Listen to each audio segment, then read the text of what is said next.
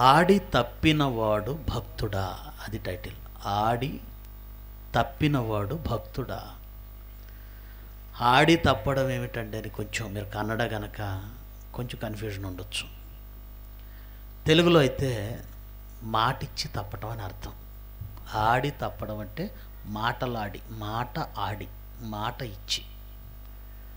మాట ఇచ్చి తప్పడం భక్తుడి లక్షణమా? ఇది మీరు అర్థం చేసుకోవాల్సిందే. ప్రేమైన దేవుని పిల్లలారా బైబిల్లో దేవుడు మహాజ్ఞాన సంగతులు వ్రాయించాడు. ఆ హమ్మింగ్ రాకుండా పెట్టండి ఓ చిన్న బాబుని పెట్టారు మరి అతనికి ఏం తెలుసు? ఎవరు లేరా సౌండ్ సిస్టమ్ ఆపరేటర్? రీసౌండ్ వస్తుంది.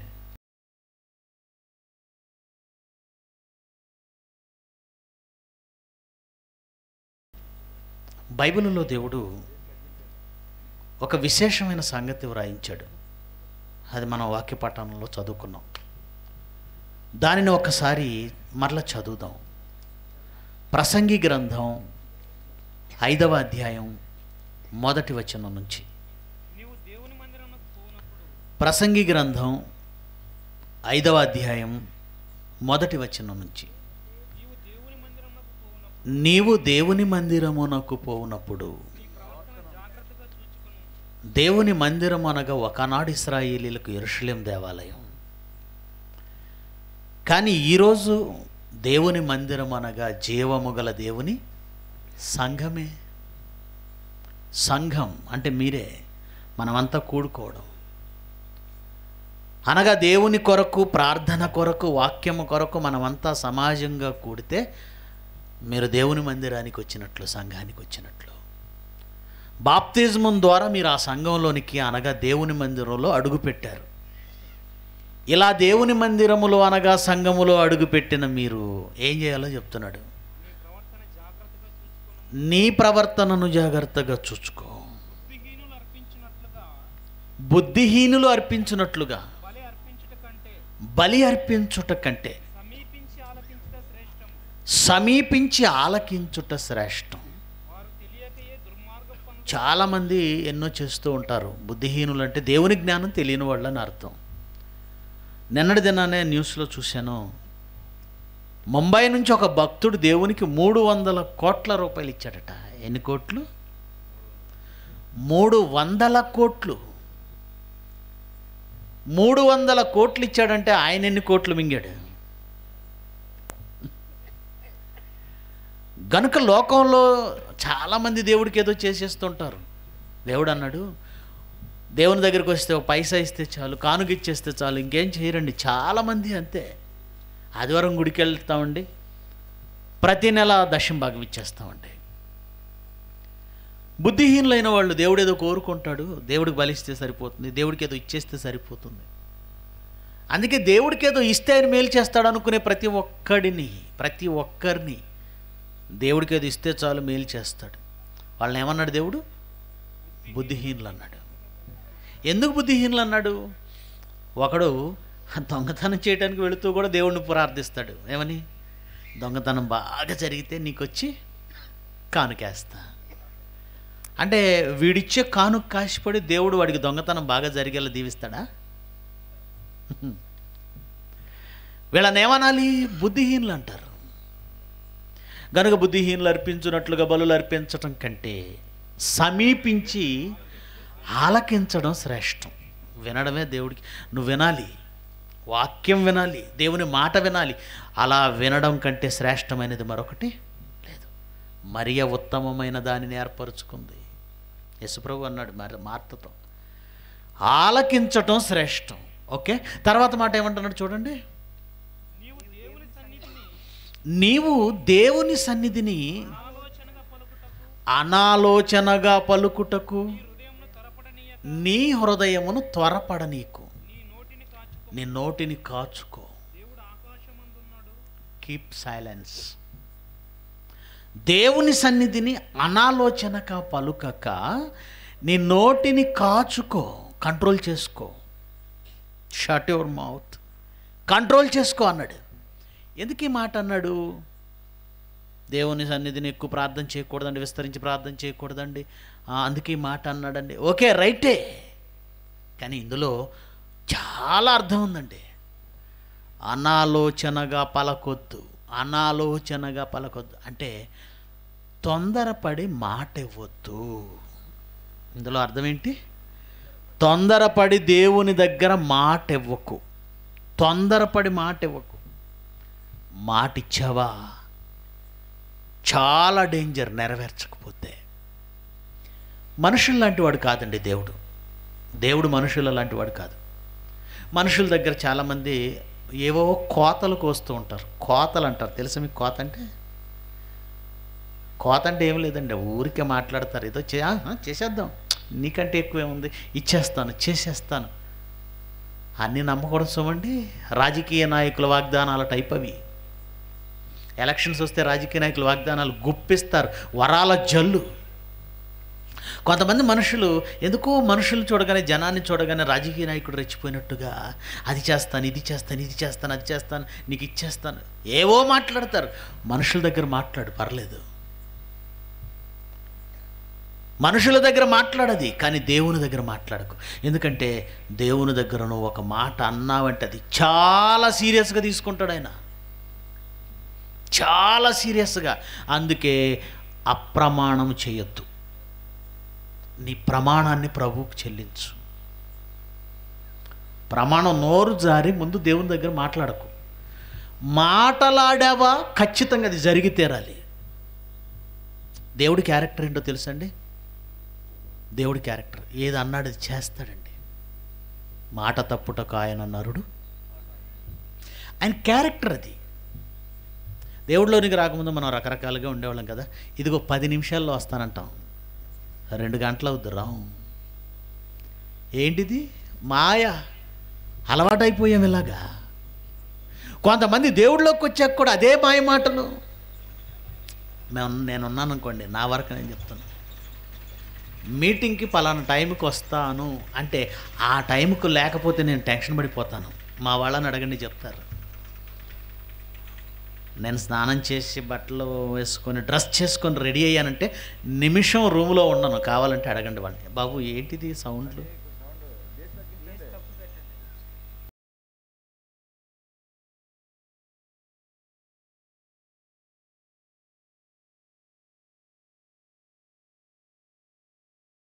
మాట ఇచ్చామనుకోండి పలానా టైంకి వస్తాం వస్తాం. ఆ టైంకి అక్కడ లేకపోతే టెన్షన్ పడిపోతాను నేనైతే. మీటింగ్ పలానా టైంకి స్టార్ట్ చేయాలంటే వెళ్ళిపోవాలి ఆ టైంకి. జయశైలి గారు నేర్పించారండి మాకు అవి. ఆయన టైం అంటే టైం. టైంకి ముగిస్తానంటే ముగిస్తారు.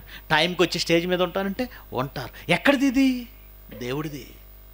దేవుడు కూడా అంతేనండి. మాటను చాలా సీరియస్గా తీసుకుంటాడు.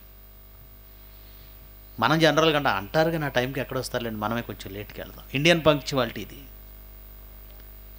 సంఖ్యాకాండము ఇరవై మూడో అధ్యాయం పంతొమ్మిదో వచ్చినం దేవుడు అబద్ధమాడుటకు ఆయన మానవుడు కాడు. దేవుడు అబద్ధమాడుటకు ఆయన మానవుడు కాడు. పశ్చాత్తాపట్టుకు ఆయన నరపుత్రుడు కాడు. చెప్పి చేయకుండా చెప్పి చేయకుండానా? ఆయన క్యారెక్టర్ ఏంటంటే చెప్పాడంటే చెయ్యకుండా ఉండడు. అలాంటి క్యారెక్టర్ కలిగిన వాడండి తన పిల్లలు కూడా అలాగే ఉండాలనుకుంటాడు. నా దగ్గర అనవసరంగా మాట్లాడకండి. మాటలాడిన తర్వాత దాన్ని చేయకుండా ఉంటే మీరు శాపగ్రస్తులు. చదవండి ఇప్పుడు ఆ ప్రసంగి గ్రంథం ఐదో అధ్యాయము రెండు మూడు వచనాలు మరలా రెండో వచనం మరలా చదవండి. దేవుని సన్నిధిని నువ్వు దేవుని సన్నిధిని అనాలోచనగా పలుకుటకు నీ తొందరపడొద్దు. దేవుని దగ్గరికి వెళ్ళినప్పుడు మాట్లాడడానికి దేవునితో మాట్లాడడానికి దేవునితో ఒట్టు పెట్టుకోవడానికి దేవునితో ప్రమాణం చేయడానికి తొందరపడొద్దు. నీ నోటిని కాచుకో. దేవుడు ఆకాశమందున్నాడు. నువ్వు భూమి మీద ఉన్నావు జాగ్రత్త. నీ నోటిని కాచుకో. అనాలోచనగా పలకొద్దు. పలికితే ఏంటండి? పలికితే ఏమవుతుంది? ఒకవేళ ఒక మాట ఇచ్చాం చేయలేకపోయాం. ఏమవుతుంది అనుకుంటున్నారా? కీర్తనల గ్రంథము పదిహేనవ అధ్యాయము. ఆయన ఎంత సీరియస్గా తీసుకుంటాడంటే ఒక భక్తుడైన వాని లక్షణం ఎలా ఉండాలో ఆయన మాట్లాడుతూ పదిహేనవ అధ్యాయం కీర్తనల గ్రంథం పదిహేనవ అధ్యాయం. కీర్తనల గ్రంథం పదిహేనవ అధ్యాయము ఆ, రెండవ వచనం నుంచి చదువుదాం. యథార్థమైన ప్రవర్తన కలిగి మొదటి వచనం కూడా చదివితే ఇంకా బాగుంటుంది. మొదటి వచనం యహోవా నీ గుడారం ఉండవలసిన వాడెవడు నీ గుడారం గుడారం అనగానే ఇల్లు ఇల్లు అనగానే దేవుని ఇల్లు ఏది చెప్పండి? మనము జీవము గల దేవుని మనమే దేవుని ఇల్లు మనమే దేవుని ఇల్లు అనగా దేవుని గుడారం అంటే సంఘం. దేవుని గుడారం అంటే సంఘం. బైబిల్లో సంఘానికి ఉన్న పేర్లు చెప్తాను. నోట్ చేసుకోండి గుర్తుపెట్టుకోండి. ఎరుషలేము అన్న దేవుని సంఘమే. క్రొత్త నిబంధనకు వచ్చేసరికి ఎరుషలేము అన్నాడంటే దేవుని సంఘం. జీవము గల పట్టణం అన్నాడంటే సంఘం. గుడారం అన్నాడంటే సంఘం ఇల్లు అన్నాడంటే సంఘం మందిరం అన్నాడంటే సంఘం. సంఘంతో సంఘం గురించి పెట్టిన పేర్లు ఆయన పెట్టిన పేర్లు. పర్యాయ పదాలు అంటారు వాటిని. యహోవా నీ గుడారంలో అతిథిగా ఉండదగిన వాడెవడు నీ పరిశుద్ధ పర్వతము పరిశుద్ధ పర్వతం అన్న సంఘం ఎవరో పేరుది? నీ పరిశుద్ధ పర్వతము మీద నివసింపదగిన వాడెవడు? అంటే సంఘములో నువ్వు నిలబడాలన్నా పరిశుద్ధ పర్వతం మీద నువ్వు ఉండాలన్నా అంటే సంఘంలో నువ్వు ఉండాలి నీకు సభ్యత్వం ఉండాలంటే ఎలా ఉండాలో చెప్తున్నాడు. ఎవడిని సంఘంలో ఉంచాలనుకుంటున్నాడు చెప్తున్నాడు. యథార్థమైన ప్రవర్తన. ఇప్పుడు వస్తానడం రాకపోవడం. ఇస్తానడం ఇవ్వకపోవడం. మాట వరుస అవునండి ఎన్నో చెప్తామండి చెప్పినవన్నీ చేస్తారండి. మాట్లాడుతున్నాడు భక్తుడు. ఎన్నో అంటామండి అన్నీ చేస్తామా అంటున్నాడు అంటే నమ్మినోడు పిచ్చోడు కదా నమ్మినవాడు పిచ్చోడు అని నువ్వు అనుకుంటున్నావు. అది మనిషి దగ్గర చెల్లుతుందేమో కానీ దేవుడి దగ్గర చెల్లదండి. ఎలాంటి వాడిని సంఘంలోని సంఘంలో ఉండే అర్హత ఉందో తెలుసా? ఎలాంటి వాడికి సంఘంలో ఉండే అర్హత ఉంది? దేవుడు ఎలాంటి వాడిని ఉంచుతానంటున్నాడు?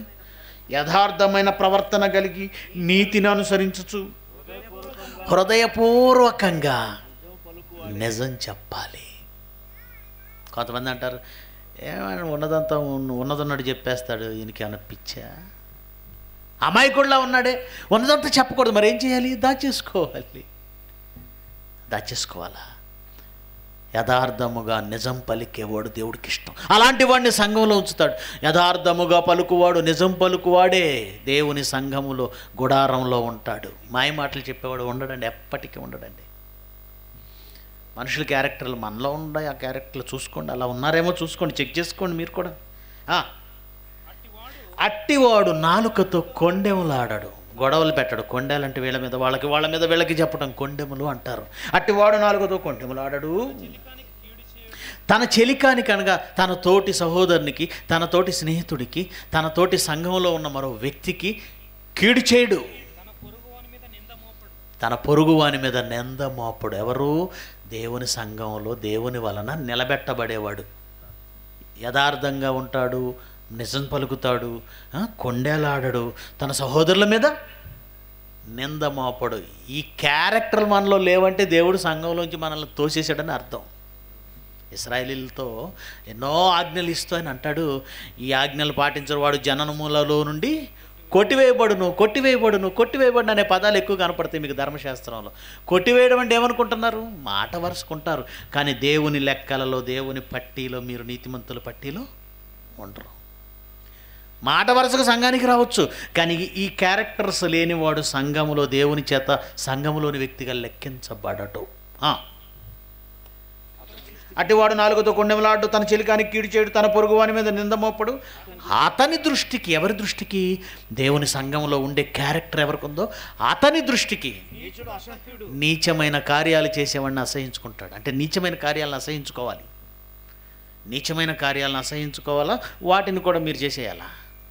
నీచుడు అసహ్యుడు. అతడు యెహోవాయందు యహోవా భయభక్తులు గలవారిని. సన్మానించును అంటే దేవుని యందు భక్తి కలిగిన వారిని ఎప్పుడు సన్మానించాలి? ఇక మోస్ట్ ఇంపార్టెంట్ క్యారెక్టర్. అతడు మాట ఇవ్వగా ప్రమాణం చేయగా నష్టము కలిగినను నష్టము కలిగినను మాట తప్పడు అది. ఆడి తప్పినవాడు భక్తుడా? ఇది ఎక్కడది అనుకోకండి. బైబిల్లోదే. బైబిల్ ఓపెన్ యూనివర్సిటీ ఒక టైటిల్ ఇచ్చిందంటే బైబిల్లో వాక్యాధారం లేకుండా అతడు ప్రమాణము చేయగా నష్టము కలిగినను మాట తప్పడు. జాగ్రత్తగా వినాలి. సేవకులైన వారు జాగ్రత్తగా వినాలి. దేవుని పిల్లలైన వారు జాగ్రత్తగా వినాలి. ప్రిన్సిపల్స్ అయినా డిప్యూటీ డైరెక్టర్లు అయినా ఎవరైనా ఈ మాటను పదే పదే పదే. ప్రమాణం చేసావా? దేవుడికి మాట ఇచ్చావా కొంతమంది దేవుడికి మాట ఇచ్చేస్తారు. చేసేస్తాను. దేవుడి కోసం చేసేస్తాను. అది చేస్తాను. నా జీవితం అంకితం చేస్తాను. సేవకు వచ్చేస్తాను. అర్పించేస్తాను. వచ్చిన తర్వాత అనుకున్నట్టుగా జరగట్లేదు అనుకోండి. వచ్చిన తర్వాత మనకు లాభం లేదనుకోండి. కష్టం అయిపోయింది అనుకోండి. నష్టం అయిపోయింది అనుకోండి.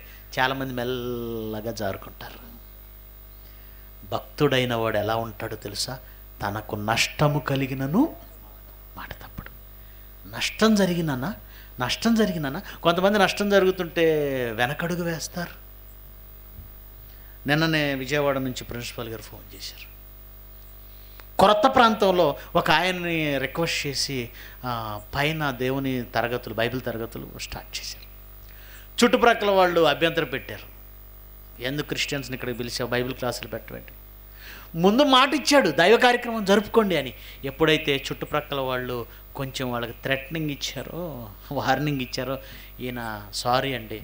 మరి నేను ముందేదో అన్నాను కానీ మా వాళ్ళంతా వద్దంటున్నారు. మా వాళ్ళంతా వద్దంటే నాకు ప్రాబ్లం కనుక మీరు వెళ్ళిపోండి. దేవునికి మాట ఇచ్చాడు. కానీ తనకు నష్టం అనగానే తన వాళ్ళు వద్దంటున్నారు అనగానే ఏమైపోతున్నాడు? వెనకడుగు వేశాడు. దేవుని క్లాసులు వద్దట బైబిల్ వద్దట బైబిల్ చెప్పకూడదట. నష్టము కలిగిన నష్టం జరిగిన వెనక తిరగనివాడు మాట తప్పనివాడు దేవుని భక్తుడవుతాడు. అలాంటి ఒక మహాభక్తుడిని బైబిల్లో మనం చూడగలమండి అతనే యోఫ్తా. చదువుతారా న్యాయాధిపతుల గ్రంథం? ఏమండి మహాభక్తులైన వారి జీవితాలను చూస్తే ఒళ్ళు గగురు పొడిచే వాస్తవాలు నిజాలు మనకు కనబడతాయండి. న్యాయాధిపతుల గ్రంథము పదకొండవ అధ్యాయము. న్యాయాధిపతుల గ్రంథం పదకొండవ అధ్యాయము ముప్పై వచనం. అప్పుడు యోక్త యహోవాకు మ్రొక్కుకున్నాడు ఎలాగంటే యోఫ్త యోఫ్తా ఇస్రాయేలీలకు న్యాయాధిపతిగా దేవుడు నియమించిన వ్యక్తి దేవుని వలన నియమించబడిన వ్యక్తి. యుద్ధానికి వెళ్ళమని నా పిల్లలను కాపాడాలి యోఫ్తా. నువ్వు నాయకుడిగా ఉండు. అదిగో అమ్మోనీయులు నా పిల్లలను సర్వనాశనం చేయడానికి చుట్టుముట్టారు. నువ్వు కాపాడాలి. బయలుదేరాడు బయలుదేరి దేవునికి మొక్కుకుంటున్నాడు. ఏమని? ఆయన కోసం కాదండి ఆయన కుటుంబం కోసం మొక్కుకోలేదు. ఆయన సొంత లాభం కోసం మొక్కుకోలేదు తన అవసరాల కోసం మొక్కుకోలేదు. మనమైతే ప్రభువా ఎగ్జామ్ పాస్ చేస్తే నేను వచ్చి కానుకిస్తా. బా పిల్లలు పుడితే నేను వచ్చి కానుకిస్తా. ఇల్లు కడితే నేను వచ్చి కానుకిస్తా. అన్నీ నీ కోరికలు. దేవుడికి బిజినెస్ దేవుడితో నువ్వు ఇది చేస్తే కానీ యోఫ్తా తన కోసం తన అవసరాల కోసం మొక్కుకోవటం లేదండి. దేవుని పిల్లలైన వారిని కాపాడడానికి యుద్ధానికి వెళుతున్నాడు. ఆ యుద్ధంలో తన ప్రాణం కూడా పోవచ్చు.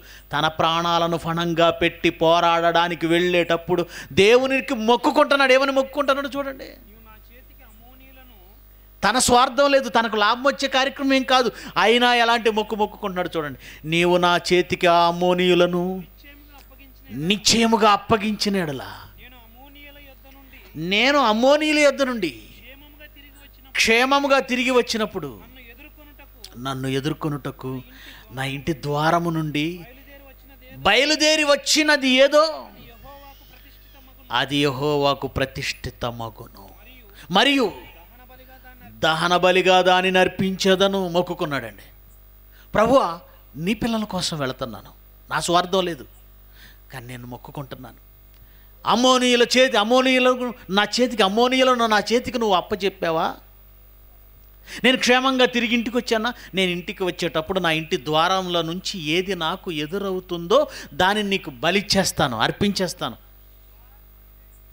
ప్రతిష్ఠితమవుతుంది నీకు దాన్ని నేను బలిచ్చేస్తాను అన్నాడు వెళ్ళాడు యుద్ధానికి అమోనీలతో యుద్ధం చేశాడు. అఖండమైన విజయాన్ని దేవుడిచ్చాడు. సంబరాలతో స్త్రీలు నాట్యమాడుచుండగా పాటలు పాడుచు ఏమండి ఆ వాయిద్యాలతో మేళతాళాలతో ఇంటికి వస్తున్నాడండి అప్పుడు యోఫ్తా కుమార్తె తన చెలికత్తెలతో కలిసి ఆమె కూడా ఆనందంగా పాటలు పాడుతూ నాట్యం చేస్తూ ఎవరికి ఎదురొచ్చింది యోఫ్తాకి ఎదురొచ్చింది నా ఇంటిలో నుంచి నాకు మొదటిగా ఏది ఎదురవుతుందో దానిని దహన బలిగా నీకు ఇచ్చేస్తానని మాటిచ్చాడు. ప్రతిష్ఠితం అవుతుందన్నాడు బలిచ్చేస్తానన్నాడు దహన బలిచ్చేస్తానన్నాడు. కానీ తీరా వచ్చిందండి ఆయన దృష్టిలో ఏ గొర్రె పిల్లో ఏ మేకపిల్లో వస్తుందేమో ఏ దూడో ఏదో వస్తుంది అనుకున్నాడు కానీ ఎవరు వచ్చారు కుమార్తె. ఆమె కాక మగ పిల్లలు కానీ ఆడపిల్లలు కానీ ఇంకెవరు లేరు. ఒక్కగానొక్కతి ఒక్కగానొక్కతి. అంతే బట్టలు చించేసుకొని ఏడ్చేశాడండి పెద్దగా. ఎలుగెత్తి ఏడ్చేశాడు. అయ్యో నా కుమారి నన్ను కృంగ చేసిన వారిలో నువ్వు కూడా ఉన్నావా? నన్ను కృంగ చేసావమ్మా నా గుండెలు కృంగిపోయినాయి అమ్మా. అని ఏమన్నాడు చూడండి. వచనం వచనం వచనం. ముప్పై నాలుగో వచనం. యోఫ్తా ఇస్పాలోనున్న తన ఇంటికి వచ్చినప్పుడు మిస్బాలోనున్న తన ఇంటికి వచ్చినప్పుడు అతని కుమార్తె తంబురలతోనూ నాట్యముతోనూ బయలుదేరి అతన్ని ఎదుర్కొన్నది. ఆమె గాక అతనికి మగ సంతానమే గాని ఆడ సంతానమే గాని లేదు. అతడు ఆమెను చూచి తన బట్టలు చించేసుకుని అయ్యో నా కుమారి నీవు నన్ను బహుగా కృంగ కృంగజేసితివి. నువ్వు నన్ను తల్లడింపజేయి వారిలో ఒకటివై ఉన్నావే అని ఏడ్చాడు కానీ ఒక మాట అన్నాడు నేను యహోవాకు మాట ఇచ్చి ఉన్నాను వెనుక గనుక వెనుక తీయలేను. నేను మాట ఇచ్చాను గనుక వెనక తీయలేను. నేను మాట ఇచ్చాను గనుక వెనక తీయలేను. యహోవాకు మాట ఇచ్చాను గనుక వెనక తీయలేను. అంటే ఏం చేస్తాడు ఇప్పుడు? ఏం చేయాలండి? ఏం మాట ఇచ్చాడు? పైన చదవండి. పైన చదువుకున్నారు కదా ముప్పై వచ్చిన ఏం మాట ఇచ్చాడు? క్షేమముగా తిరిగి వచ్చినప్పుడు నన్ను ఎదుర్కొనుటకై నా నా ఇంటి ద్వారం నుండి బయలుదేరి వచ్చినదేదో అది యహోవాకు ప్రతిష్ఠితం. మరియు దహన బలిగా దానిని నేను అర్పిస్తాను. ఇప్పుడు ఎవరిని అర్పించాలి? చాలామంది యోఫ్తా కుమార్తెను బలివ్వలేదు అనుకుంటున్నారు. ఇచ్చాడు. క్లియర్గా ఉందండి బైబిల్లో దహన బలిగా అర్పిస్తాను ప్రతిష్ఠితమవుతుందనే మాటతో ఆపలేదు. ఏమన్నాడు తర్వాత? మరియు దహన బలిగా దానిని దహన బలి అంటే ఏంటో తెలుసా? కట్టెల మీద బలిపేటం మీద మంటలో వేసి కాల్చేయటం. ఇసాకును కట్టెల మీద పెట్టేసి అగ్ని తీసుకొచ్చి ఏమంటే కత్తితో నరికి అగ్ని వేసి బలి చేద్దాం అనుకున్నాడు. హేబెల్ బలి ఇచ్చాడు ఆకాశం నుంచి అగ్ని దిగి ఏమైంది? దహించేసింది. బలి ఇవ్వడం అంటే దహన బలి. దహన బలి. ప్రేమైన దేవుని పిల్లలరా అంటే ఇప్పుడు ఏం చేయాలి యోఫ్తా? యోఫ్తా ఏం చేయాలి?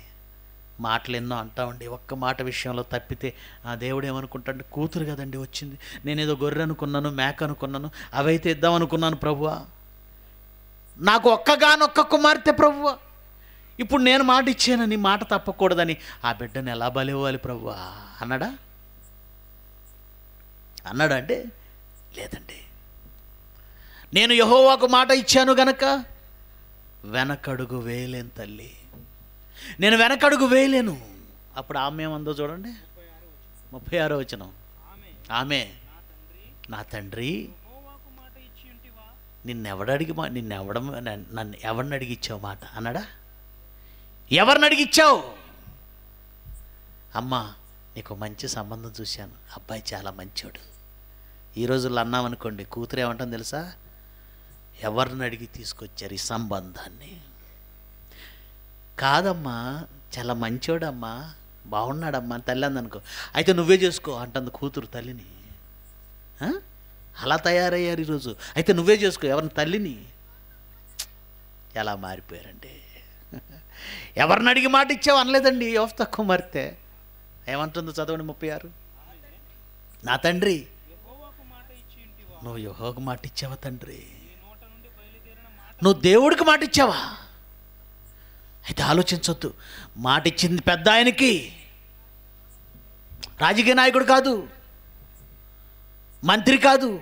ముఖ్యమంత్రి కాదు ప్రధానమంత్రి కాదు. ముల్లోకాలను వెళ్ళే చక్రవర్తికి మాట ఇచ్చావు నువ్వు. అలాగైతే ఆ, నీ నోట నుండి బయలుదేరిన మాట చెప్పున నీ నోట నుండి బయలుదేరిన మాట చొప్పున నాకు చెయ్యి. ఆయన నోట నుండి బయలుదేరిన మాట ఏంటి? పైన చదివాం. అది యహోవకు ప్రతిష్ఠితం దానిని దాహన బలిగా అర్పించడం ఒక మాట అడిగింది. నేను యవ్వనంలో ఉన్నాను కదా తండ్రి. నా కన్యత్వాన్ని బట్టి కొన్న నా చెలికత్తెలతో వెళ్ళి ఓ రెండు నెలల పాటు ప్రలాపిస్తాను. ఎందుకు? ఏమండి ప్రతిష్ఠితమే కదండి. ప్రాబ్లం లేదండి. ప్రతిష్ఠించితే ఏదో పెళ్ళి చేసుకోకుండా పెళ్ళి చేయకుండా అలా ఉండిపోతుందండి. అలా ఉండిపోతుంది కనుక కన్యత్వం కోసం ఎడవటానికి వెళుతుందండి అని చాలామంది అనుకుంటున్నారు. కాదండి. దాని గురించి కాదు. ప్రతిష్ఠితం అయితే పెళ్ళి చేసుకోకుండా ఉండాలని బైబిల్ ఎక్కడా లేదండి. ప్రతిష్ఠితమైన వాళ్ళు పెళ్ళి చేసుకోకూడదా? సంసోన్ ఉన్నాడు. నాజీరు చేయబడినవాడు. పెళ్ళి చేసుకున్నాడు పెళ్ళి చేసుకోలేదా? అర్థమైందా? సమూహలు ఉన్నాడు ప్రతిష్ఠింపబడినవాడే. వివాహం చేసుకున్నాడా లేదా? ప్రేమని దేవుని పిల్లలారా ప్రతిష్ఠితం అంటే వివాహం చేసుకోండి ఉండిపోవటం. దానివలన కన్యాత్వం గురించి ఆమె ఎడవటానికి వెళ్ళింది అనుకోకండి. ఆమె చచ్చిపోబోతుంది. ఏం కాబోతుంది? చనిపోబోతుంది. జీవితంలో ఏమీ అనుభవించకుండానే ఏమీ చూడకుండానే చనిపోతున్నాననే బాధ ఆమె ఉంది కనుక రెండు నెలలు టైం అడిగింది. నువ్వెవరు నన్ను చంపడానికి అనలేదండి రెండు నెలల టైం అడిగి అటు నుంచి అటు దేశం వదిలి పారిపోయిందా? లేదండి. అంటే ఎంత మంచి భక్తుడు యోఫ్తా ఎంత మంచి భక్తుడో కూతురుని బట్టి చెప్పేయచ్చు. చెట్టు మంచిదా? అయితే దాని ఫలాలు కూడా మంచివే. తండ్రి ఎలాంటి వాడు కుమార్తెను బట్టి చెప్పేయచ్చు. మీరు ఎలాంటి మీ మీ అమ్మ నాన్న ఎలాంటి వాళ్ళు మిమ్మల్ని చూస్తే తెలిసిపోద్ది లోకానికి. ఆ బిడ్డను చూసి యోఫ్తా ఎలాంటి భక్తుడు చెప్పొచ్చండి. ఎలాంటి భక్తుడైనా? ఎలాంటి భక్తుడు? తండ్రి నువ్వు యహోవకు మాట ఇచ్చావు కదా. నీ నోటి నుండి వచ్చిన మాట చొప్పున నాకు చెయ్యి. కానీ ఒక రెండు నెలలు టైం నన్ను విడిచిపెట్టు. విడిచిపెట్టాడు అలా గమ్మ రెండు నెలల తర్వాత మరలా వచ్చిందండి. తాను మొక్కుకొని మొక్కు అంతటి ప్రకారము చేసిన తర్వాత మాట చూడండి రాయబడింది అదే మాట రాయబడింది. ముప్పై ఎనిమిదో వచనం. అతడు పొమ్మని చెప్పి రెండు నెలల వరకు ఆమెను పోనిచ్చను గనుక ఆమె తన చెలికత్తెలతో కూడా పోయి కొండల మీద తన కన్యత్వమును గురించి ప్రలాపించెను.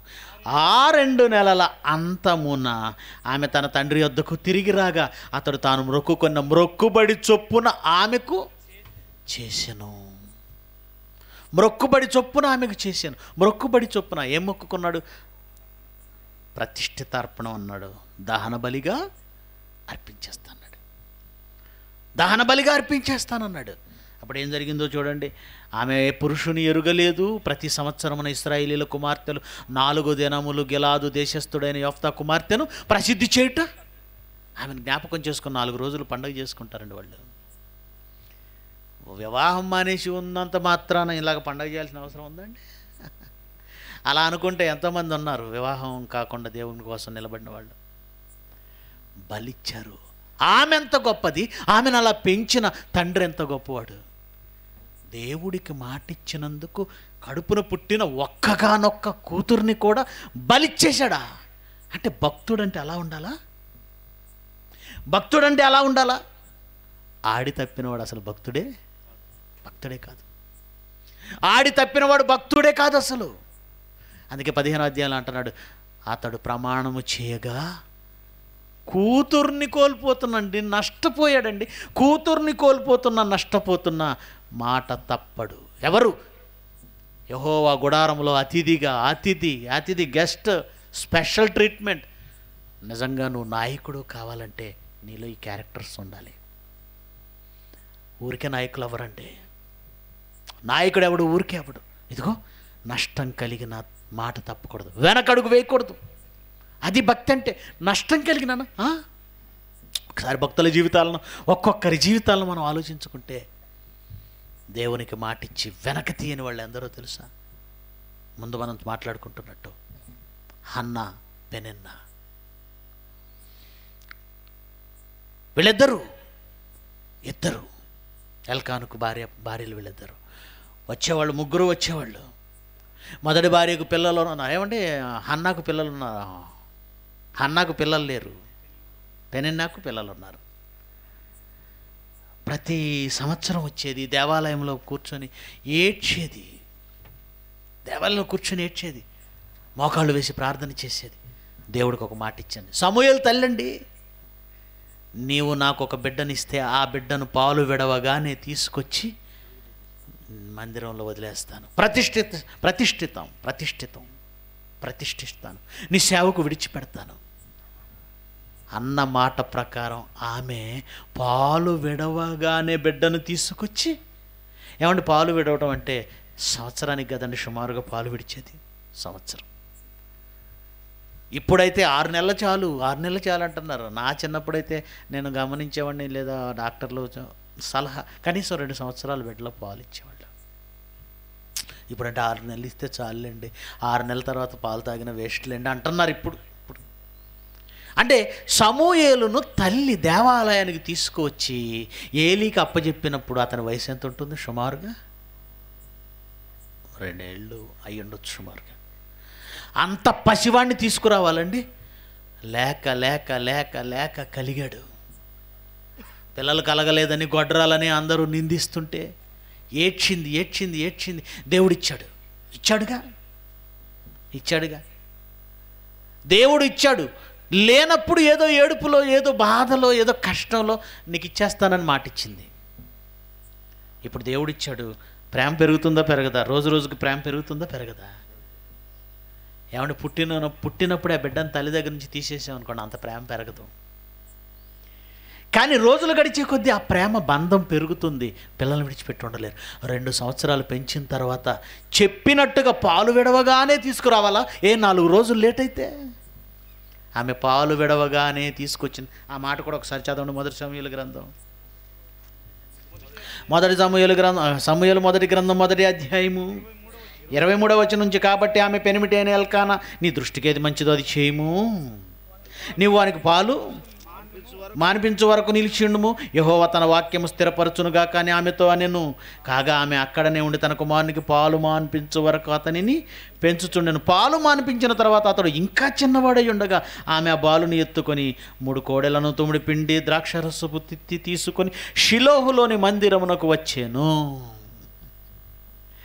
మాట ఇచ్చావు రైటే ఎంత అర్జెంటుగా తీర్చుకోవాల్సిన అవసరం ఉందా అని ఎల్కానా కూడా అనలేదు. అన్నాడా? ఆమె కూడా మాట ఇచ్చాను ఇస్తానన్నాను కదా ఇస్తానులే. కనీసం ఒక రెండు సంవత్సరాలు పోనీ ఐదు సంవత్సరాలు కొని ప ఓ పది సంవత్సరాలు ఆగిన తర్వాత ఇద్దాం. పోనీ పెద్ద అయిన తర్వాత ముద్దు ముచ్చట తీర్చుకొని ఇద్దాం అనుకుందా? మాటిస్తే దేవుడి దగ్గర ఎలా ఉండాలి? మాటిస్తే ఏ మాట ఇచ్చావు అది తప్పకూడదు.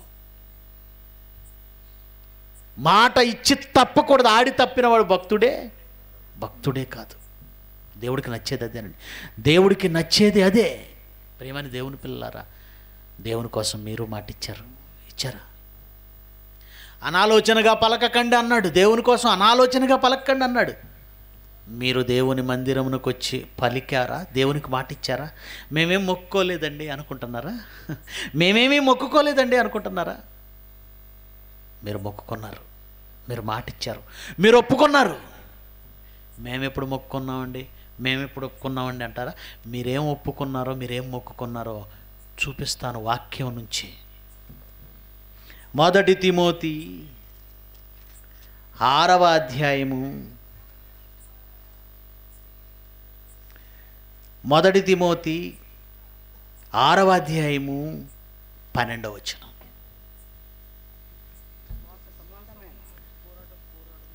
తీశారు అందరూ తీయండి మీరేం ఒప్పుకున్నారో మీరు దేవుడికి ఏం మొక్కుబడి చేశారో ఏం మాట ఇచ్చారో ఇక్కడ రాసేసాడు దేవుడు. చదవండి. విశ్వాస సంబంధమైన మంచి పోరాటం పోరాడండి.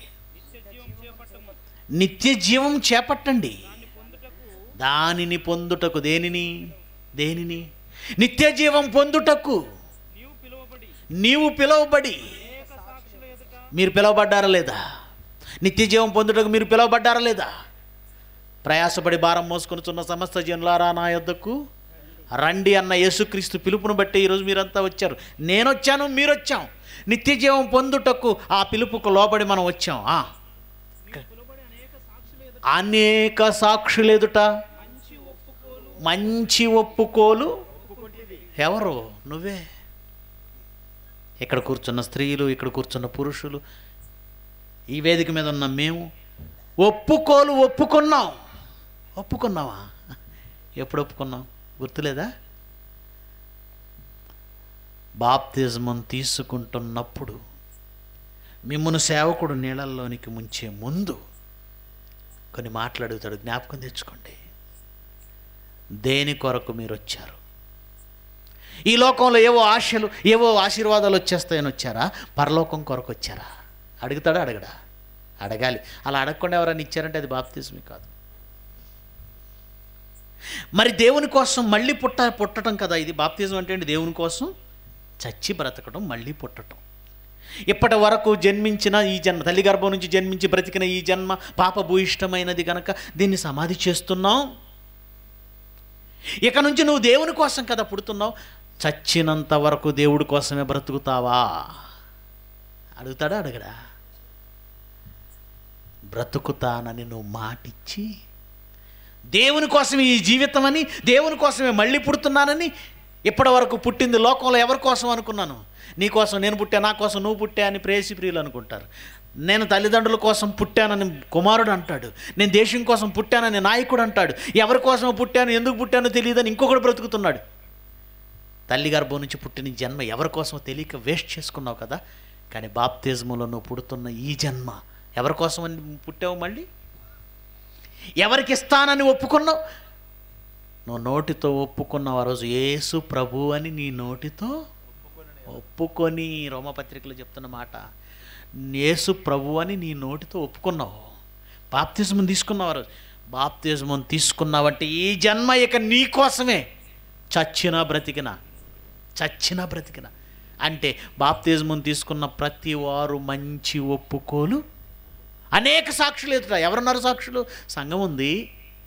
ఇదిగో సృష్టి అంతా సాక్ష్యమే. ప్రకృతి సాక్ష్యం కదా? పంచభూతాలు సాక్షులు కదా? అనేక సాక్షుల ఎదుట మనం ఆ రోజు నీళ్ళల్లో దిగి తండ్రి ఇక నుంచి నీకోసమే ఈ జన్మ నీకోసమే నీకోసమే చస్తాను నీకోసమే బ్రతుకుతాను చచ్చిన నీకోసమే బ్రతికిన నీకోసమే చావైతే లాభం నా మట్టుకైతే బ్రతుకుట? అలా అలా ఒప్పుకున్న వాళ్ళే మీరంతా తెలుసా? మాటిచ్చారు. మన మాట నెరవేరుస్తున్నారా? ఆడి తప్పుతున్నారా? మాట ఇచ్చి తప్పుతున్నారా? మాట ఇచ్చి తప్పుతున్నారా? అందరూ తప్పేవాళ్ళే. దేవుడి కోసం ఎవరండి బయలుదేరుతున్నారు? దేవుని కోసం ఎవరండి సువార్తకు వెళ్తున్నారు? దేవుని కోసం ఎవరండి సాహసాలు చేస్తున్నారు? నువ్వు దేవుని కోసం ఈ బ్రతుకన్నావు ఈ బ్రతుకులు దేవుని కోసం ఒక లక్ష్యం ఏమైనా పెట్టుకున్నావా? దేవుడి కోసం లక్ష్యమా? అపోస్తలు ఒక లక్ష్యం పెట్టుకున్నారు. క్రీస్తు అనే ఈ మహానీయుని నామాన్ని ఆకాశం క్రింద ఉన్న ప్రతి జనములోనికి ప్రకటించాలి సువార్త. వెళ్ళిపోయారు. వారి జీవితాలను ఫణంగా పెట్టారు. వాళ్ళకి నష్టమే. భార్య పిల్లల్ని ఇంటి దగ్గర వదిలేశారు. తల్లిదండ్రులను వదిలేశారు. సకల లోకానికి వెళ్ళిపోయారు. అపుస్తలు మొదటి శతాబ్దపు సంఘం. లక్ష్యం అండి అది. ఈరోజు వారిని మనం స్వయంగా చూడలేదు మొదటి శతాబ్దంలో అపోస్తలని ఆనాడు ఉన్నటువంటి ప్రవక్తలను ఒకసారి చూడండి. వాళ్ళని మనం స్వయంగా చూడకపోయినా వాళ్ళ బ్రతుకులేంటో వ్రాసి ఉన్నాయి క్లియర్గా మనకి. ఒక ఇర్మియా ప్రవక్త ఆయన జీవితం ఏంటండి? ఒక యషయా ప్రవక్త ఆయన జీవితం ఏంటి? వాళ్ళకంటూ సొంత జీవితాలేవి? కుటుంబం ఏది కుటుంబ వ్యవస్థలేవి వాళ్ళకి? వాళ్ళకంటూ వ్యక్తిగతమైన జీవితాలేవి? ఆనందాలేవి? వాళ్ళు దేవుని కోసం బ్రతుకుతాన్ని మాటిచ్చి తప్పలేదండి. ఈరోజు జయశాలి గారిని మనం చూడొచ్చు. ఆయన జీవితంలో తనకంటూ ఒక లక్ష్యం. ఎన్ని కోల్పోయాడో ఎన్ని అవమానాలు పడ్డాడో. ఈరోజు మనమంతా ఈ సత్యాన్ని తెలుసుకొని ఇక్కడ సమావేశం అయ్యామంటే కొన్ని సంవత్సరాల పాటు ఆయన తన లక్ష్యాన్ని చేరుకోవడానికి. ఎప్పటికీ నష్టపోతూనే నష్టపోతూనే నష్టపోతూ నష్టపోయినను మాట తప్పకూడదు. ఈరోజు మీరు చూస్తున్నారే దుష్ట మూవీ. నేను ఉదయం చెప్పాను ఉదయం చాలా కొద్ది మంది ఉన్నారు. నా ఇంటిని తనఖా రిజిస్ట్రేషన్ చేసిన తనఖా రిజిస్ట్రేషన్ అంటే ఏంటో తెలుసా? ఒక ఒకళ్ళ పేరు మీద రాసేయటమే సంవత్సరం వరకు టైం ఇస్తాడు. దాని మీద ఒక పదిహేను లక్షలు ఇస్తానన్నాడు. ఎక్కువ కాదు పదిహేను లక్షలు ఇరవై లక్షలు అంతకంటే రావు. దానికోసం నా పేరు మీద రాసి వాళ్ళ పేరు మీద రాసేసుకుంటారు. సంవత్సరం లోపు నేను తిరిగి ఇవ్వలేదనుకో ఆ ఇల్లు వాళ్ళ పరం అయిపోద్ది.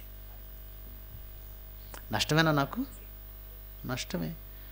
నష్టమైన ముందుకొచ్చాను. ఎందుకంటే నేను తలపెట్టిన ఆ పని దుష్టుణ్ణి సమాజానికి ఎత్తి చూపాలన్న ఆ పని ఆగకూడదు. మాటిచ్చాను దేవునికి. మాటిచ్చాను దేవునికి. మాటిచ్చిన వాడు తప్పితే భక్తుడు కాదని యహోవా గుడారం ముందు అతిథిగా ఉండదగిన వాడు కాడని నేను మాటలు చెప్పిన తర్వాత ఆ పనిని పూర్తి చేయాలి. చాలామంది నువ్వు కష్టపడ్డావు. అన్న నువ్వేం చేయగలవు? చాలామంది ఇవ్వటం ఆపేశారు కదా. నేను ముందే చెప్పాను. నా ఒక్కడికి అయ్యేది కాదు ఇది. షార్ట్ ఫిల్మ్ అనుకోండి దేవుని కోసం తీశాను. బలిదానం నీ ప్రాణం. పాట విన్నారు కదని తమ్ముడు పాడాడు. చాలా బాగా పాడాడు. రగులుతున్న క్రీస్తు విప్లవ జ్వాల అనే షార్ట్ ఫిల్మ్ తీసినప్పుడు మూడు లక్షలు అయిందండి అది నేను కాలేజీ పిల్లలందరం మేమే భరించాం. ఎవరిని అడగలేదు. ఇప్పుడు కూడా షార్ట్ ఫిల్మ్ అనుకోండి చిన్నది అనుకోండి ప్రాబ్లం లేదు. నేను ఒక్కడిని కాలేజీ వాళ్ళు అందరం భరించేస్తాం. అయిపోతుంది. కానీ ఇది చిన్నది కాదు. మొదట యాభై లక్షలు అనుకున్నాం. కాలేదు. కోటి అనుకున్నాం. కాలేదు. కోటిన్నర? కాలే అవలేదు. రెండు కోట్లు. ఇప్పటికీ కోటిన్నర ఖర్చు పెట్టాం. ఇక పిల్లల నుంచి రావటం లేదు సహాయంగా ఏమీ రావట్లేదు. ఆపేద్దామా? ఆపేస్తే ఇప్పుడు ఇప్పటి వరకు పెట్టిన అమౌంట్ అంతా బూడిదలో పోసిన పన్నీరే కదా. ఎందుకు ఉపయోగపడదు ఇక? ఎందుకు ఉపయోగపడదు? ఈ సమాజానికి దుష్టుణ్ణి చూపించాలి. చూపించాలంటే నువ్వేం చేయగలవు అక్కడవే ఏం చేయగలవు? ఇంకేం చేద్దాం వదిలి అని అన్నారు చాలామంది. నా మనసు ఒప్పుకోలేదండి. దేవుని కోసం నేను తలపెట్టిన ఈ కార్యక్రమం వెనకడుగు వేస్తే నేనెలా భక్తుడిని అవుతాను? చివరికి ప్రాణం పోయినంత వరకు దాన్ని పోరాడి ముందుకు తీసుకొద్దాం. ఆ పని అయితే జరగాలి. అందుకే ఒక పౌలు పర్యటన చేసినట్టుగా నేను మళ్ళీ కష్టపడడానికి సిద్ధపడ్డాను. రాయలసీమ జోన్ అంతా తిరిగాను. ఆ తర్వాత ఆంధ్ర జోన్ తిరుగుతాను. ఆ తర్వాత రాయలసీమ తెలంగాణ జోన్ వెళ్తాను. ఆ తర్వాత కర్ణాటక వస్తాను మహారాష్ట్ర వెళ్తాను. అన్ని ప్రాంతాలకు వెళ్ళి ఉన్న విషయాన్ని దేవుని పిల్లల ముందు చెప్పి వారికి జ్ఞాపకం చేసి వారిని రేపుట న్యాయం కదా? నా కోసం కాదు నా కోసం కాదు పని నిమిత్తం. పని నిమిత్తం. అందుకే దేవుని పిల్లలకు వారి బాధ్యతను వారి జ్ఞాపకం చేస్తూ ఈ మూవీని ముందుకు తీసుకెళ్దాం. లోకంలో ఉన్నటువంటి ఏమండి వేస్ట్ చెత్త ప్రేమలో పిచ్చి పిచ్చి గంతులో లేదంటే ఏదో నరుక్కోవటం కొట్టుకోవటం ఇవి ఇవి కాదండి ఈ సినిమాలో. ఈ సమాజాన్ని నాశనం చేస్తున్న అపవాది సాతాను వాడి పన్నాగాలు ఎలా ఉన్నాయో దేవుని జ్ఞానాన్ని సమాజానికి చూపించాలి. అది నా లక్ష్యం. అందుకే మీ మధ్యకి వచ్చాను ప్రేమైన దేవుని పిల్లలారా ఆలోచించండి. లోకసువార్త తొమ్మిదో అధ్యాయం అరవై రెండవ వచనం. లోకసువార్త తొమ్మిదవ అధ్యాయము అరవై రెండు. చేయి పెట్టి యేసుక్రీస్తు అంటున్నాడు ప్రభు అయిన యేసుక్రీస్తు అంటున్నాడు నాగటి మీద చెయ్యి వేసి నష్టం కలుగుతుందనో ఇంక ముందుకే వెళ్ళలేను అను వెనక చూచువాడు. దేవుని రాజ్యమునకు పాత్రుడు కాడు భక్తుడు కాడు. దేవుని రాజ్యానికి పాత్రుడు కాడు. నాగడి మీద చేయి ముందుకెళ్ళు. కష్టమైన బాధ అయిన శ్రమ అయిన ఇబ్బంది. ముందుకు వెళ్ళు. నాగటి మీద చేయి వేసి వెనక చూచువాడు నాకు పాత్రుడు. దేవుని రాజ్యమునకు పాత్రుడు కాడు. మీరు ఎంతోమంది దేవుని కార్యక్రమాలు చేయాలని అనుకుంటారు మనసులో. మాట ఇస్తారు దేవుడికి. మాట ఇస్తారు కానీ దాన్ని నెరవేర్చే క్రమంలో కష్టాలు బాధలు ఎదురైతే మనుషుల నుంచి అవమానాలు ఎదురైతే వీళ్ళందరూ నన్ను ఇలా అనుకుంటున్నప్పుడు నేను ఎందుకు చేయాలి? నేను తప్పుకుంటాను అంటాడు. వాక్యం అర్థం కాలే పాపం అయ్యగారికి. వీళ్ళందరూ నా గురించి ఇలా అనుకుంటున్నారు కాబట్టి నేను తప్పుకుంటాను. ఏ అంత ఈజీగా తప్పుకుంటాననే మాట వచ్చింది? ఆడి తప్పినవాడు దేవుని భక్తుడు కాడు. దశలోనికి వ్రాసిన రెండో పత్రిక మొదటి అధ్యాయం. అపోస్తుడైన పౌలు తెస్సలోనికి పట్టణానికి వ్రాసిన ఉత్తరంలో రెండో పత్రిక. మొదటి అధ్యాయము. పదకొండు పన్నెండు వచనాలు. అందువలన మన దేవుని యొక్కయు ప్రభు అయిన యేసుక్రీస్తు యొక్క యొక్కయు కృప చొప్పున మీ యందు మన ప్రభు అయిన యేసు నామము ఆయన యందు మీరు మహిమ పొందినట్లు మేలు చేయవలెనని అక్కడి నుంచి నోట్ చేసుకోండి. మన పాఠానికి అవసరమైన బిట్ అది. మేలు చేయవలెనని దేవుని కొరకు మేలు చేయవలనని మీలో కలుగు ప్రతి ఆలోచనను విశ్వాసయుక్తమైన ప్రతి కార్యమును బలముతో సంపూర్ణం చెయ్యండి ఏం చేయాలి? మధ్యలో వదిలేయకండి. ఏం చేయాలి? పూర్తి చేయండి. సంపూర్ణం చేయండి. మన దేవుడు. అది. మీరు అలా సంపూర్తి చేస్తేనే తన పిలుపుకు మిమ్మును యోగ్యులుగా. ఏ పిలుపుకి? నా తండ్రి చేత ఆశీర్వదింపబడిన వారులారా రండి. లోకం పుట్టినది మీ కొరకు లోకం పుట్టినది మొదలుకొని మీ కొరకు సిద్ధపరచబడిన రాజ్యమును స్వతంత్రించుకోండి యేసుక్రీస్తు మనల్ని ఆహ్వానించే పిలుపు ఒకటి ఉందండి. ఆ పిలుపుకు నువ్వు యోగ్యుడు కావాలంటే నువ్వు మేలు చేయాలని తలపెట్టావే. దానిని మధ్యలో వదిలేకు సంపూర్ణము చేయి సంపూర్ణం చేయి ముగించు. కంప్లీట్ చేయి. ఆ పని పూర్తి చేయకుండా మధ్యలో వదిలేసావా? నువ్వు భక్తుడివే కాదు. దేవుని పని మధ్యలో వదిలినవాడు భక్తుడే కాదు. ఒక మోషని మీరు ఆలోచించండి. ఆయనకి నష్టమే కదండి. నిజంగా ఐగుప్తు దేశంలో ఉండుంటే ఐగుప్తు దేశపు దానమంతా తన పాదాల దగ్గర పెట్టేస్తానంది. ఎవరు? పెంచిన తల్లి. పెంచిన తల్లి. నిజంగా ఐగుప్తు ధనం అంటే ఏంటండి ఏమంటే గిలేసుగూరులో మీకు ఒక ఎకరం పొలం రాసిస్తాను యేసుప్రభుని వదిలేనంటే మీరు వదిలేస్తారు. వదిలేరా?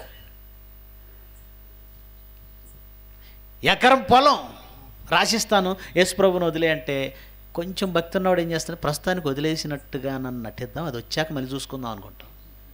అలా తాత్కాలికంగానైనా వదిలేద్దామని నిర్ణయానికి వస్తావు. దుర్మార్గుడివి. కానీ భక్తుడైన మోషే అంటున్నాడు ఏమన్నాడు? అమ్మా వద్దు. దేవుని పిల్లలతో శ్రమ అనుభవించడం నాకు మేలు. ఐగుప్తు ధనమంతా నా పాదాల దగ్గరికి వచ్చిన నాకు అవసరం లేదు. నష్టం వచ్చింది.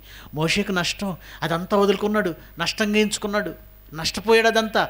ఎందుకు నష్టపోయాడు? తనకు నష్టం కలిగి నన్ను ఇచ్చిన మాట నీ పిల్లలను కానాను దేశానికి చేర్చాలి. తాను తలపెట్టిన పని కోసం ఎంత నష్టం జరిగినా వదులుకుంటూ వదులుకుంటూ వదులుకుంటూ వదులుకుంటూ నష్టం జరిగిన వదిలేసుకోవడమే. తనకు ఏవి లాభకరములు ఉన్నవో అవన్నీ వదిలేసుకొని దేవుని పనిని తుదముట్టించాలి. అవసరమైతే నీ బిడ్డను వదిలేయాలి. అవసరమైతే నీ భార్య పిల్లలను వదిలేయాలి. అవసరమైతే నీ ఇండ్లు వదిలేయాలి. అవసరమైతే నీ ప్రాణమైన వదిలేయాలి. అదే బైబిల్ చెప్పింది. భక్తుడైతే నువ్వు ప్రాణంను కూడా ఏం చేయాలి? తమ ప్రాణము సహా ద్వేషించకుంటే.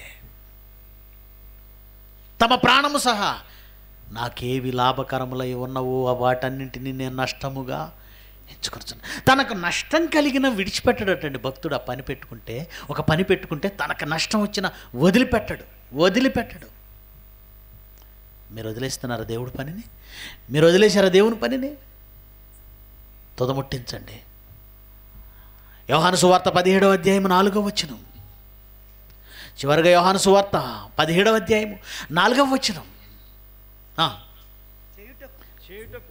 తండ్రి చేయుటకు. నీవు నాకు ఇచ్చిన పని. నేను సంపూర్ణంగా నెరవేర్చి. నేను సంపూర్ణంగా నెరవేర్చి. భూమి మీద నిన్ను మహిమపరిచితిని. భూమి మీద నిన్ను మహిమపరిచితిని. సంపూర్ణంగా సంపూర్ణంగా. మధ్యలో వదిలేదు మాటిచ్చాడు. తండ్రి నీ పిల్లల కోసం నా ప్రాణం పెడతానని మాటిచ్చి వచ్చాడు. మాట తప్పలేదండి యేసుక్రీస్తు. సంపూర్ణంగా నెరవేర్చి భూమి మీద మహిమపరిచాడు. సంపూర్ణంగా నెరవేర్చి.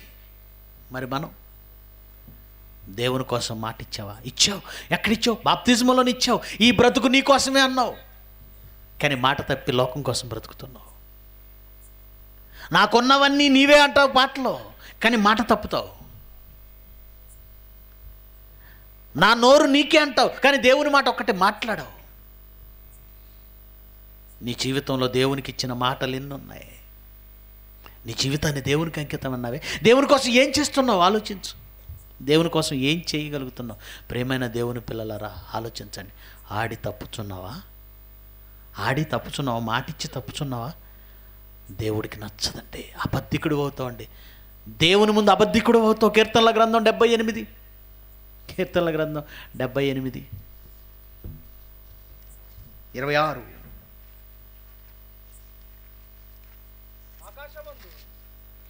కీర్తనల గ్రంథం. ముప్పై ఏడు క్షమించండి ముప్పై ఏడు డెబ్బై ఎనిమిది ముప్పై ఏడు. నోటి మాటతో వారు ఆయనను ఒక స్థుతి చేసిరి. తమ నాలుకతో ఆయన దగ్గర బొంకుతున్నారట. బొంకటం అంటే తెలుసుగా? అబద్ధం. ఏదో ఆ టైంకి దేవుడికి ఏదో ఒకటి చెప్పేద్దాం. మొత్తం నీ జీవితం నా జీవితం అంతా నీకే తండ్రి నీకే తండ్రి నీకే. సమర్పించుకుంటున్నాను. అబ్బా ఇదొక మాట మాయ మాట. ఏ మాట? సమర్పించుకుంటున్నాడట సమర్పించుకుంటున్నాను నా జీవితాన్ని సమర్పిస్తాను. నీ బంగారు పాదాల దగ్గర నా జీవితాన్ని అర్పించేస్తున్నాను. ఈ మాటలన్నీ మాయ. వారు తమ నాలుకలతో ఆయన యొద్ద ఎంతమంది ప్రార్థన చేస్తున్నారు? నా జీవితాన్ని సమర్పించేశాను. అని ఎవరు ఎవరు ప్రార్థన చేస్తున్నారు? పాటలు పాడుతున్నారా? పాడతారు. ప్రార్థన చేస్తారా చేస్తారు. కానీ ఆయనకు సమర్పించారు మీ జీవితాన్ని? మీ బ్రతుకును మీ జీవితాన్ని ఆయనకు సమర్పించారా? లేదు. అందుకే అబద్ధికులందరూ మండు అగ్నిగుండములో పాలు పొందుతురు. ప్రకటనల మాట అది. అబద్ధికులందరూ అగ్ని గుండములో మండు గుండములో పాలు పడవే పాలు పొందుతురు. దేవుని గుడారములో నిజమైన యథార్థమైన భక్తి గలవాడిగా ఉన్నావా? అయితే నీకు నష్టం జరిగిన మాట తప్పుకో. ప్రాణం పోయిన మాట తప్పుకో. జీవితం ఏమండి? సర్వనాశనం అయిపోయిన మాట తప్పుకో. అది దేవుడు చూస్తాడండి. చూస్తాడు చూస్తాడు. యోగును చూశాడు. ఎంత నష్టం జరిగిన మాటల తేడా రాలేదు యోగుకి ఆ దేవుడు ఇచ్చాను. ఆ దేవుడు తీసుకున్నాడు. నోటి మాట చేత కూడా ఆ యథార్థత తప్పలేదండి. అది భక్తి అంటే. ప్రేమని దేవుని వర్లరా నీకు నష్టం జరుగుతుందని వెనకడిగేస్తావా? మాట తప్పుతావా? మాట మీద నిలబడండి. ఆయన ఆయనకు చేసిన ప్రమాణములన్నీ చెల్లించండి. అప్రమాణము చేయక నీ ప్రమాణములన్నీ అనాలోచనకు మాట్లాడకు. మాట్లాడావు కదా బాప్తిజం తీసుకుని ఆ రోజు చెప్పేసావు కదా నీకోసం బ్రతుకుతాన్ని. ఆ మాట తప్పుకో. దేవుని కొరకు బ్రతుకు. ఆ జీవాలోకంలో నీకంటూ ఒక చోటు సంపాదించుకో. నేను అదే ప్రయత్నం చేస్తున్నాను. దుష్ట అనే ఒక మూవీ ఈ ప్రపంచానికి చూపించాలి. ఎలాగైనా చేయాలి. కష్టపడుతున్నాను. నా ప్రాణం పోయిన దాన్ని ఎలాగైనా ప్రజల మధ్య తీసుకురావాలి. చూడండి ఆ క్లిప్స్ ఎంత బాగుంటాయి మీరు కూడా చూడండి. లైట్స్ ఆపండి. ఇప్పుడు ఆ ల్యాప్టాప్ నుంచి నువ్వు చాలా జాగ్రత్తగా దాన్ని ప్లే చేయాలి. ఓకే? లైవ్ చూస్తున్న వాళ్ళు కాసేపు లైవ్ రాకపోయినా పర్వాలేదు ఆ క్లిప్స్ మీకు తర తర్వాత పెడతాం. కనుక లైవ్ ఎంతటితో ఆపేస్తున్నాం ఈ క్లిప్స్ వేసిన తర్వాత మరి పాటలు ప్రార్థన చేసేస్తాను నేను. ఓకే? లైవ్ ఎంతటితో ఆగిపోతుంది? త్వరగా త్వరగా దాన్ని కనెక్ట్ చేయండి. ప్రేమైన దేవుని పిల్లలారా ఆ క్లిప్స్ మీరు చూస్తే నిజంగా ఎంత ఖర్చు అవుతుంది ఎంత కష్టపడుతున్నాం. ఆ మేకింగ్ వీడియోలు కూడా మీకోసం తీసుకొచ్చామండి. మరలా చెబుతున్నాను లోక సంబంధమైన పిచ్చి ప్రేమలు లోక సంబంధమైన ఏవో ఆ, కొట్లాడుకోటాలు నరుక్కోటాలు కాదండి అందులో ఉన్నది. ఒక మనిషి ఎలాగ అపవాది వలన మోసపో